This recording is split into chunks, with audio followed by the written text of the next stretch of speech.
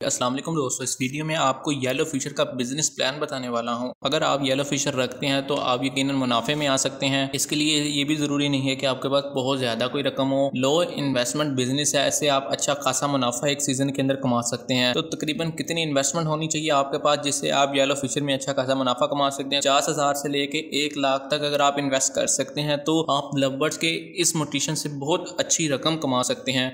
तो आपने कैसे कमाना है, कैसे आपने सेटअप लगाना है और कौन सा बर्ड कहाँ से बाय करना है, इस वीडियो के अंदर मैं आपको मुकम्मल तफसील देने वाला हूँ। तो आपने चैनल को कर लेना है सब्सक्राइब वीडियो को कर देना है लाइक और इसको शेयर भी ज़रूर करना है। सबसे पहले तो आपके पास तकरीबन साठ से लेकर अस्सी हज़ार रुपये होने चाहिए। अगर आपके पास साठ से लेकर अस्सी हज़ार रुपये हैं तो आप येलो फिशर का बिज़नेस स्टार्ट कर सकते हैं।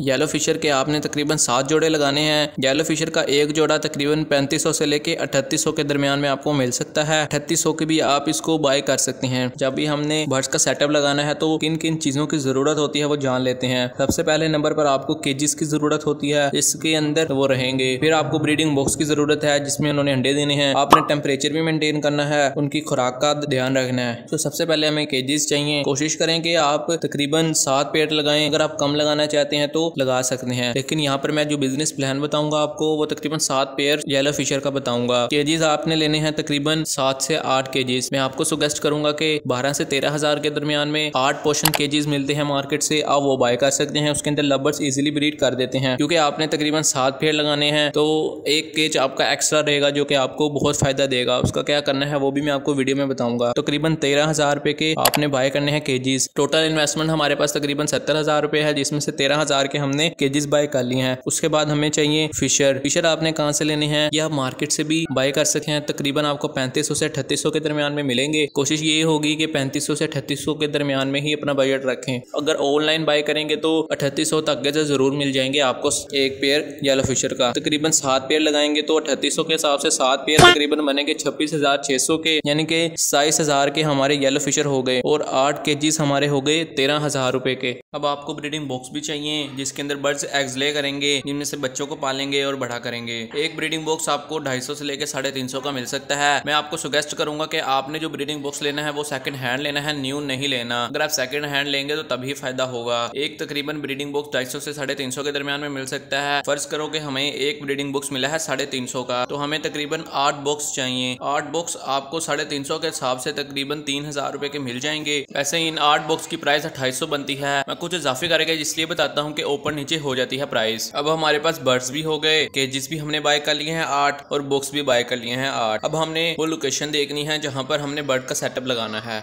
बहुत से भाई लोगों के जहन में आता है कि हम छत पे सेटअप लगाएँ। जी हाँ दोस्तों, आप सेटअप छत पे लगा सकते हैं, मगर ऐसी छत हो जो कि कवर हो मुकम्मल तौर पे। यानी कि खुली हुई छत ना हो। अगर खुली हुई छत होगी तो ज़्यादा चांसेस होते हैं कि बर्ड्स मर जाएगा जल्दी। इसलिए कोशिश करें कि ऐसा सेटअप लगाएँ जो कि मुकम्मल तौर पे ढका हुआ हो। यानी कि एक कमरा टाइप आपके पास होना चाहिए एक्स्ट्रा जहाँ पर आपने बर्ड का सेटअप लगाना है। हमें मास्टर केज की भी ज़रूरत नहीं पड़ेगी इसके लिए। अगर बर्ड्स उठना भी चाहता है मिसाल के तौर पर अगर केजी से बाहर भी आ जाता है ना बर्ड तो तब भी वो बाहर नहीं जाएगा, उड़कर नहीं जाएगा। वो उस कमरे के अंदर ही रहेगा। उस कमरे का टेम्परेचर हम कंट्रोल कर लेंगे। उसके लिए जिन चीज़ों की ज़रूरत होगी, वो मैं आपको बता देता हूँ। सबसे पहले तो हमने मैयर करना होगा कि उस कमरे का टेम्परेचर क्या है। तकरीबन साढ़े पाँच सौ रुपए का आपको टेम्परेचर मीटर मिलता है। दराज से बाय कर लें मार्केट से बाय कर लें, इसी प्राइस में मिल जाता है। वो आप बाय कर सकते हैं। और एक ह्यूमिडिटी फायर चाहिए, जो कि ह्यूमिडिटी को कंट्रोल करता है। बर्ड्स जो से हैं, वो ब्रीड दो चीज़ों के ऊपर करते हैं। एक ह्यूमिडिटी और एक टेम्परेचर अगर टेम्परेचर नॉर्मल होगा और ह्यूमिडिटी भी सही होगी तो तो बर्ड्स अच्छी ब्रीड करेंगे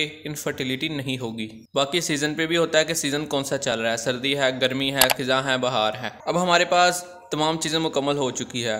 अब हमने बर्ड्स को बाय करके इन केजीज के अंदर रख दिया है उस लोकेशन पे सेट कर दिया है। जो बर्ड्स आपने बाय किए हैं, उनकी एज तकरीबन छः से लेके सातवां, आठवां भी हो सकती है। जिन भाई से आप बर्ड्स बाय कर रहे हैं, उनसे पूछ लें कि इनकी एज क्या है। मोस्टली जो बर्ड्स बेच रहे होंगे, इस एज के अंदर आपको मिलेंगे छह से लेके आठ माह के अंदर। अब हमें बर्ड्स का खाना भी चाहिए। हमने उसको ब्रीडिंग की तरफ़ लेकर आना है। उसके लिए हमें किन किन चीज़ों की ज़रूरत पड़ती है उसके लिए भी हमें चीज़ें चाहिए। तो जो बर्ड्स का दाना है, वो तकरीबन एक सौ अस्सी से लेके आपको ढाई के दरमियान में मिल सकता है। यानी कि अच्छे से अच्छा दाना जो है, वो 200 का 220 रुपए का आपको मिल जाता है। सीड मिक्स होती है लव बर्ड्स की। सीड मिक्स आप बर्ड्स को प्रोवाइड करें, वो इजिली खाते हैं। जो सीड मिक्स है वो तकरीबन 180 के हिसाब से अगर आप लगाएँ 6 किलो तो 6 किलो सीड मिक्स आपके दो माह या डेढ़ माह निकाल सकती है। वो तकरीबन आपको हज़ार रुपए की पड़ जाएगी। इसका रेट भी ऊपर नीचे होता रहता है। अभी तो उसका रेट काफ़ी ज़्यादा हाई है। तकरीबन हज़ार रुपए की आप सीड बाय कर लें। अब हमें सॉफ्ट फ़ूड चाहिए, ताकि बर्ड्स के कैल्शियम और विटामिन मुकम्मल हो। जब वो ब्रीड करें तो उनके अंदर इनफर्टिलिटी के इशू ना आए। वो बच्चों को अच्छी तरीके से पाले, बच्चे बड़े करें, उनकी ब्लड लाइन मज़बूत हो। इसके लिए हमें सॉफ्ट फ़ूड चाहिए। सॉफ्ट फ़ूड के अंदर गंदम काले चने, हरे मूंग की दाल और इसके अलावा भी काफ़ी चीज़ें शामिल होती हैं। हम सब्जियों को भी प्रोवाइड करते हैं सॉफ्ट फ़ूड के तौर पे। तो ये तमाम चीज़ों का अगर खर्चा निकाला जाए, अगर आप महीने के अंदर एक मरतबा या दो मरतबा या तीन मरतबा सॉफ्ट फ़ूड देते हैं तो उसका हम खर्चा निकालें तो हज़ार रुपये तकरीबन इसका भी हम निकाल लेते हैं। तो अभी हमारे पास बर्ड्स हो गए हैं, जो कि हमने बाई किए हैं छब्बीस हज़ार छः सौ के, करीबन सताईस हज़ार के। और केजीज हमने तेरह हज़ार रुपये के बाई किए हैं और बॉक्स बाई किए हैं तकरीबन तीन हज़ार रुपये के। टेम्परेचर मीटर हमें मिला है तकरीबन साढ़े पाँच सौ का। ह्यूमिडिटी फायर की बात करें तो वो तकरीबन पंद्रह सौ से दो हज़ार के दरमियान में आपको मिल सकता है। तो यहाँ पर जो मैं प्राइस लगा रहा हूँ, वो तकरीबन दो हज़ार रुपये लगा रहा हूँ। सीड मिक्स की बात करें तो वो तकरीबन आपको छः किलो मिलेगी हज़ार रुपये की। सॉफ्ट फ़ूड का भी खर्चा हज़ार रुपये लगा लेते हैं। जब हम इन तमाम चीज़ों को टोटल करते हैं तो तकरीबन हमारे पास छियालीस हज़ार छः सौ रुपया आता है। यानी कि सैंतालीस हज़ार रुपये हमारा खर्चा हो सकता है। और हमारे पास टोटल इन्वेस्टमेंट थी तकरीबन सत्तर हज़ार रुपये। अभी भी तेईस हज़ार रुपये हमारे पास बचते हैं। वो आपने संभाल लेने हैं, वो आपको आगे काम आ सकते हैं। कोशिश करें कि इसको फुल टाइम ना लेके जाएँ पार्ट टाइम लेके चलें। क्योंकि अगर आप पार्ट टाइम लेके चलेंगे तो आपको ज़्यादा फ़ायदा होगा मेरे नज़दीक। वैसे भी हमने सिर्फ़ उसको दाना देना होता है सॉफ्ट फ़ूड देना होता है, थोड़ी बहुत ही मेहनत करनी होती है। उसके लिए हम हफ़्ता एतवार रख सकते हैं या सिर्फ़ एतवार रख लें, सफ़ाई वगैरह के लिए। अभी हम इनके ब्रीडिंग की तरफ़ चलते हैं कि कब ब्रीडिंग करेंगे सीज़न क्या होता है, कितने अंडे देंगे। फिर प्रॉफिट के ऊपर बात करते हैं। तो दोस्तों, इसका जो सीज़न शुरू होता है, वो तकरीबन अक्टूबर से शुरू हो जाता है। तो दोस्तों, जो लव बर्ड्स हैं, इनका जो ब्रीडिंग सीज़न है, वो तकरीबन अगस्त से शुरू हो जाता है। लेकिन पाकिस्तान के अंदर पिछले कुछ सालों से मौसम काफ़ी ज़्यादा चेंज हो रहा है। बाज़ात अगस्त में भी काफ़ी ज़्यादा गर्मी होती है। तो इसलिए यहाँ पर मैंने इसका जो ब्रीडिंग सीज़न लगाया है, वो तकरीबन सेप्टम्बर से लेकर अप्रैल तक लगाया है। सितंबर से ये ब्रीडिंग आप इनको प्रोवाइड करें बॉक्स तो ब्रीडिंग स्टार्ट कर सकते हैं ये। तो आपने इनको ब्रीडिंग बॉक्स लगाने हैं अगस्त के अंदर। जैसे ही इन बर्ड्स के पेयर बनना स्टार्ट हो जाएँगे ना तो आपने इनको अगस्त के अंदर ब्रीडिंग बॉक्स लगा देने हैं। लव बर्ड के अंदर मेल और फीमेल की पहचान कैसे करते हैं, इसके ऊपर आपको मुकम्मल वीडियो मैंने बना के दी है, जो कि बहुत आसान है। विदाउट डीएनए तो आपको लिंक डिस्क्रिप्शन में मिल जाएगा। आप वो वीडियो देख लें, आपको मालूम होगा कि कौन सा बर्ड का पेयर लगा हुआ है, कौन से बर्ड का पेयर नहीं लगा हुआ। जब आप इनको अगस्त के अंदर ब्रीडिंग बॉक्स प्रोवाइड करेंगे तो तकरीबन सितंबर के अंदर ये ब्रीडिंग करना स्टार्ट कर देंगे। सितंबर से लेके अप्रैल तक तकरीबन सात महीने बनते हैं तो सात महीने ये ब्रीड करते हैं। इन सात महीनों के अंदर अगर आप इनकी अच्छी केयर करते हैं तो ये तकरीबन तीन मरतबा ब्रीड कर सकती हैं। यानी कि एक बार अंडे देंगे, बच्चे निकलेंगे, उन बच्चों को पालेंगे, फिर दोबारा ब्रीड करेंगे, दोबारा बच्चे पालेंगे, फिर तीसरी बार बच्चे पालेंगे। यानी कि तीन क्लच ये निकाल सकते हैं। अगर एक क्लच की बात करें तो एक क्लच के अंदर तकरीबन तीन से लेकर चार अंडे ये देते हैं। उनमें से चिक्स की प्रोडक्शन होती है दो से तीन। यानी कि अगर चार चिक्स दिए हैं तो तीन में से बच्चे निकलते हैं। पहली मरतबा जो ब्रीड करते हैं ना, बर्ड, वो तकरीबन तीन या दो एग्स ले करते हैं। इनमें से एक में से बच्चा निकलता है, दो में से बच्चा निकल जाता है बाज का क्योंकि पहली जो ब्रीड होती है ना, उसको काफ़ी देखा गया है कि उसके अंदर काफ़ी प्रॉब्लम्स होती हैं। लेकिन नेक्स्ट ब्रीड बहुत अच्छी आती है आप लोगों की। तो एक क्लच के अंदर तकरीबन तीन से चार एग्स ये ले करते हैं। उनकी चिक्स प्रोडक्शन की बात करें तो दो से तीन चिक्स आपको इजिली प्रोवाइड कर देंगे एक क्लच के अंदर। फ़र्ज़ कर लें कि अगर आपके बर्ड्स ने एक क्लच के अंदर तीन बच्चे निकाले हैं टोटल बर्ड्स तकरीबन थे सात पेयर्स सात पेयर में से हर एक बर्ड तो ब्रीड नहीं करता सीज़न के अंदर। वो भी हमारी सोच के मुताबिक। तो फ़र्ज़ कर लो कि छः बर्ड ने आपके पास ब्रीड की है। छः बर्ड से मुराद छः पेयर्स येलो फिशर के। अगर एक पेयर एक बार ब्रीड करके तीन चिक्स निकालता है तो आपके पास टोटल पेयर कितने थे? छः थे और एक पेयर ने निकाले हैं तीन चिक्स जो छः ज़रबे तीन करते हैं तो हमारे पास अठारह बच्चे हो जाएँगे एक क्लच के अंदर। अभी सिर्फ़ एक क्लच की बात कर रहा हूँ मैं। एक क्लच के अंदर अठारह बच्चे हो जाएँगे। अगर हम दूसरे क्लच की बात करें तो दूसरे क्लच के अंदर अगर वो ब्रीड करते हैं और तीन बच्चे निकालते हैं तो दूसरे क्लच के अंदर भी अठारह बच्चे हो गए और तीसरे क्लच के अंदर भी अठारह बच्चे हो गए। तो इसी तरह हमारे पास तीन क्लच के अंदर, यानी कि सात महीने के अंदर सितंबर से लेकर अप्रैल तक येलो फिशर ने तीन बार ब्रीड करी, जिसमें सारे एक क्लच के अंदर उन्होंने तीन तीन बच्चे निकाले। अब तीन बच्चों को, जो बच्चा बड़ा होता जाए, उसे जो एक केज हमने स्पेयर किया था ना, उसके अंदर आप रखते जाएँ। आहिस्ता आहिस्ता वो बड़े भी होंगे, वहीं पर तकरीबन दो से तीन माह के वो हो जाएँगे, सात महीनों के अंदर अंदर। जो लास्ट ब्रीड होगी ना, वो जो बच्चे होंगे, वो थोड़े से छोटे होंगे। लेकिन टोटल बच्चे हमारे पास निकलते हैं तीन क्लच के अंदर। एक क्लच के अंदर अठारह चिक्स दूसरे के अंदर अठारह और तीसरे के अंदर अठारह। तो यहाँ पर हमारे पास टोटल जो बच्चे हो गए हैं, वो तकरीबन फिफ्टी फोर चिक्स हमारे पास टोटल हो चुके हैं सात महीनों के अंदर। एक सीज़न के अंदर तकरीबन फिफ्टी फोर चिक्स हमारे पास हो चुके हैं।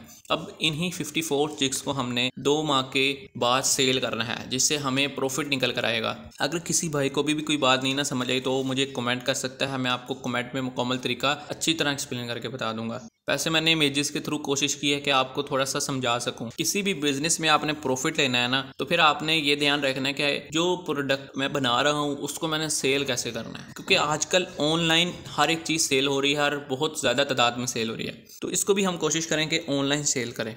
नहीं तो आप संडे बर्ड मार्केट का भी रुख कर सकते हैं, वहाँ पर भी आपको अच्छी एवरेज मिल जाएगी। नहीं तो मार्केट जो लगती है, वहाँ पर भी आप सेल कर सकते हैं। याद करें कि आपने एक जो पेयर बाय किया था वो तकरीबन अठतीस सौ रुपये का बाय किया था। ठीक है? तो यहाँ पर मैं आपको ये नहीं कह रहा कि आप अठतीस सौ का ही सेल करें।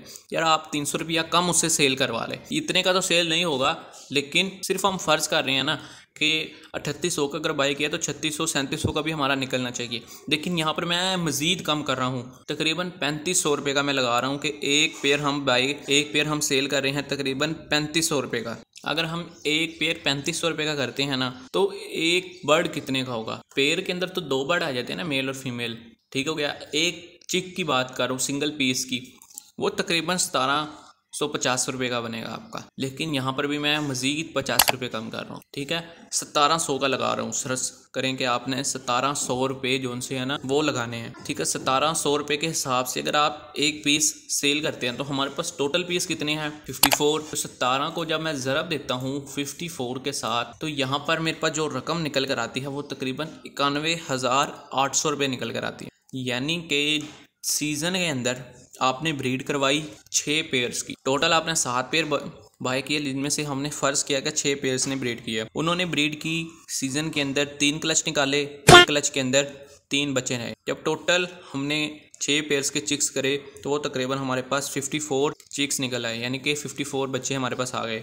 एक बच्चा हमने सेल करना है तीन तीन चार चार माह का करके, ये पाँच पाँच माह का भी कर सकते हैं। एक बच्चा हमारे पास निकला है, वो तकरीबन सतारह सौ रुपये का निकला है। और अगर हम फिफ्टी फोर चिक्स को सेल करें सतारह सौ के हिसाब से तो हमारे पास टोटल प्रॉफिट आता है इक्यानवे हज़ार आठ सौ। इसमें से आपने इक्यानवे हज़ार आठ सौ में से अपना वो खर्चा जो आपने इसके ऊपर इन्वेस्टमेंट की थी, तकरीबन सैंतालीस हज़ार रुपये आपने इसके ऊपर इन्वेस्टमेंट की थी।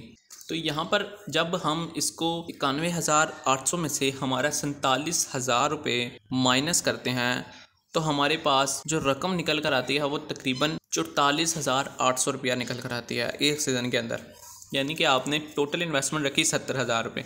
जिसमें से आपका खर्चा आया, वो तकरीबन सैंतालीस हज़ार रुपये आया। अब सैंतालीस हज़ार रुपये आप इन्वेस्ट कर चुके हैं। जब आप सैंतालीस हज़ार रुपये इन्वेस्ट करते हैं और एक सीज़न के अंदर प्रॉफिट निकालते हैं तो आपके पास प्रॉफिट निकल कर आता है इक्यानवे हज़ार आठ सौ रुपया। अब हमने जो इन्वेस्टमेंट की थी, वो भी तो रिकवर करनी है ना? तो उसको रिकवर करने के बाद, जब हम इक्यानवे आठ, इक्यानवे हज़ार आठ सौ में से अपनी इन्वेस्टमेंट माइनस कर दें तो हमारे पास जो प्रॉफिट निकल कर आता है, चौतालीस हज़ार आठ सौ रुपया।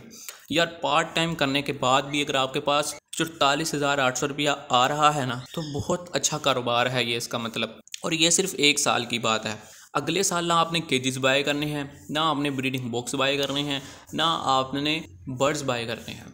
सिर्फ़ आपके पास खर्चा आएगा, दाने का या सॉफ्ट फ़ूड का आएगा, वो हज़ार, दो हज़ार होगा। तो सोच लें खुद ही कि आपके पास एक लाख रुपया आपके पास प्रॉफिट निकल कर आ सकता है। अगर आप येलो फिशर बाय करते हैं, एक बार इसके ऊपर इन्वेस्टमेंट कर लेते हैं, अच्छी सी लोकेशन देखकर तो मैं उम्मीद करता हूँ कि आपको मेरी ये वीडियो भी पसंद आई होगी। इससे पहले भी जो मैंने बिज़नेस प्लान बताए हैं, वो सोच समझ के बनाए हैं।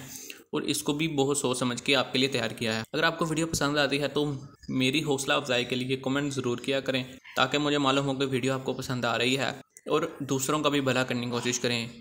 आप इसको शेयर करें फेसबुक के ऊपर इंस्टाग्राम के ऊपर व्हाट्सएप के ऊपर, ताकि जिनको बर्ड का शौक़ है और वो घबराते हैं कि हमें कौन सा बर्ड कहाँ से बाय करना है, कितनी इन्वेस्टमेंट करनी चाहिए, किस तरह प्रॉफिट आएगा मुकम्मल बिज़नेस प्लान जो है ना वो घबराते हैं इसमें। वो भी इनको मालूम हो जाए। तो, तो अभी के लिए अपने भाई राना चंजेब को दें इजाज़त। मिलते हैं एक नेक्स्ट वीडियो में। तब तक के लिए अल्लाह हाफिज़ हो। नेके बान।